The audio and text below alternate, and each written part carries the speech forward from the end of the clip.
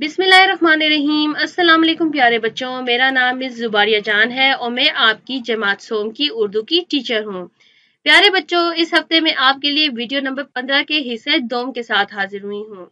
प्यारे बच्चों, video number पंद्रह के हिस्से दोम में आज हम सबक आलूदगी क्या होती है की मश्क करेंगे। मुझे उम्मीद है कि पिछले हफ़्ते की वीडियो में आपको इस सबक की पढ़ाई अच्छे से समझ आ गई होगी। तो चले आए प्यारे बच्चों, अपनी मश्क का आगाज़ करते हैं। प्यारे बच्चों, सबक की मश्क शुरू करने से पहले हम इस सबक का मश्की खाका देखेंगे, यानी लेसन आउटलाइन और जानेंगे कि हमारे पास इस सबक की मश्क में कौन कौन से सवाल शामिल हैं। जैसे कि हमारे पास है, सबक नंबर छह, आलूदगी क्या होती है? मश्की खाका। सवाल जवाब किताबी मश्क, सफ़ा नंबर 52 और इमला के अल्फाज। तो प्यारे बच्चों, ये तीन सवाल जवाब हमारे पास इस सबक की मश्क में शामिल हैं। तो चले आए इनको एक एक करके करते हैं।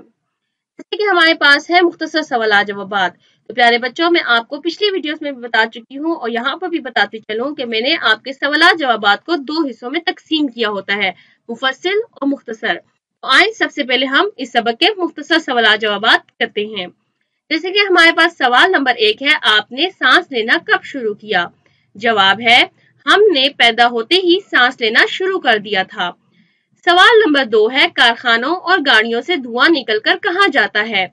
जवाब है, कारखानों और गाड़ियों से धुआँ निकलकर हवा में शामिल हो जाता है। सवाल नंबर तीन है, साफ़ हवा में कैसी गैसें होती हैं? जवाब है, साफ़ हवा में ऑक्सीजन और कार्बन डाइऑक्साइड होती है। सवाल नंबर चार है, कूड़ा करकट कहाँ फेंकना चाहिए? जवाब है, कूड़ा करकट कूड़े दान में फेंकना चाहिए। सवाल नंबर पाँच है, अगर सांस के साथ गंदी हवा जिसम में जाए तो क्या होगा? जवाब है, अगर सांस के साथ गंदी हवा जिसम में जाए तो हम बीमार हो जाएँगे। तो प्यारे बच्चों, ये थे हमारे पास मुख्तर सवाल जवाब अब हम करते हैं मुफसर सवाल जवाब जैसे कि मुफसर सवाल जवाब में हमारे पास सवाल नंबर एक है, आलूदगी कैसे फैलती है? जवाब है जगह जगह कूड़ा करकट फेंकने से हवा आलूदा होती है और अगर इस दौरान बारिश हो जाए तो ये कूड़ा करकट बहता हुआ नहर, दरिया और समंदर के साफ़ पानी में शामिल हो जाता है। इससे आलूदगी फैलती है। सवाल नंबर दो है, आलूदगी को कैसे कम किया जा सकता है? जवाब है, गंदा पानी या कूड़ा करकट गली या नहर में न फेंके।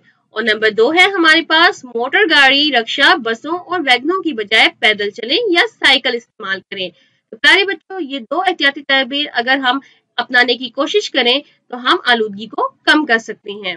तो उम्मीद है आपको मुख्तसर और मुफसल दोनों सवाल जवाब अच्छे से समझ आ गए होंगे। तो प्यारे प्यारे बच्चों, अब हम अपनी किताबी मश्क की जानी बढ़ते हैं। प्यारे बच्चों, किताबी मश्क जो कि हमारे पास सफ़ा नंबर बावन में मौजूद है, सवाल है हमारे पास खाली जगह पुर करें। तो चलिए आए प्यारे बच्चों, इन तमाम खाली जगहों को एक एक कर कर पुर करते हैं। जैसे कि हमारे पास नंबर एक है, सेहतमंद रहने के लिए हवा का डैश होना ज़रूरी है। सेहतमंद रहने के लिए हवा का साफ़ होना ज़रूरी है। नंबर दो है, हवा और पानी के आलूदा होने को डैश कहते हैं। हवा और पानी के आलूदा होने को आलूदगी कहते हैं। नंबर तीन है, घरों और कारखानों से बहुत डैश और गंदगी निकलती है। घरों और कारखानों से बहुत कूड़ा करकट और गंदगी निकलती है। नंबर चार है, धुआँ एक बहुत जहरीली डैश है। धुआँ एक बहुत जहरीली गैस है। नंबर पाँच है, घर की खिड़कियाँ और रोशनदान ज़्यादातर डैश रखें। घर की खिड़कियाँ और रोशनदान ज़्यादातर खुले रखें। तो ये थी हमारे पास एक पाँच खाली जगह पो जिसको हमने एक एक करके पूर किया। उम्मीद है इस किताबी मश्क की आपको अच्छे से समझ आ गई होगी। प्यारे बच्चों, अब हम इमलाह के अल्फाज करते हैं। प्यारे बच्चों, ये तमाम इमला के अल्फाज हमने आलूदगी क्या होती है, से ही लिए हुए हैं। तो चले आए एक कर इनको पढ़ते हैं। जैसे कि नंबर एक है हमारे पास सांस। नंबर दो है हमारे पास ऑक्सीजन नंबर तीन है हमारे पास ढेर। नंबर चार है हमारे पास मछलियाँ। नंबर पाँच है हमारे पास साफ़ सुथरा नंबर छह है हमारे पास कूड़ा करकट और नंबर सात है हमारे पास आबी जानवर। तो प्यारे बच्चों, ये थे एक साथ इमला के अल्फाज। उम्मीद है आपको इनकी पढ़ाई समझ आ गई होगी। प्यारे बच्चों, अब हम करते हैं सरगर्मी नंबर चार। प्यारे बच्चों, सरगर्मी नंबर चार में हमारे पास सवाल है, मेल मिलाएँ। तो चले आए इनको एक एक कर कर मैच करते हैं।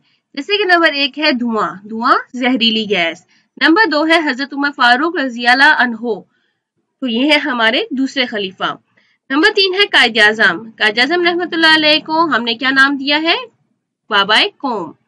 नंबर चार है, हज़रत मोहम्मद वसल्लम को लोग सादिक और आमीन कहकर पुकारते थे। नंबर पाँच है, साफ़ हवा। साफ़ हवा यानी खुशगवार माहौल। तो ये थी हमारे पास सरगर्मी नंबर चार मेल मिलाए उम्मीद है आपको ये सही तरीके से समझ आ गई होगी। बच्चों, जाने से पहले अपना होमवर्क ज़रूर लेते जाएँ। अरे बच्चों, आपका नंबर एक होमवर्क है कि तमाम काम उर्दू एक कॉपी पर तहरीर करें। प्यारे बच्चों, इस वीडियो में मैंने आपको जितने भी सवाल करवाए हैं और एक सरगर्मी करवाई है, ये तमाम काम आपने उर्दू एक कॉपी पर तहरीर करना है, यानी उर्दू एक कॉपी पर लिखना है। नंबर दो होमवर्क है कि इमला के अल्फाज और तमाम काम याद करें। तो प्यारे बच्चों, ये तमाम काम उर्दू एक कॉपी पर लिखने के साथ साथ आपने इसको याद भी करना है। उम्मीद है प्यारे बच्चों, आज की ये वीडियो आपको पसंद भी आई होगी और समझ भी आई होगी। तो इन ताला अगले हफ़्ते नई वीडियो के साथ मुलाकात होगी। तब तक के लिए टेक केयर अल्लाह हाफिज।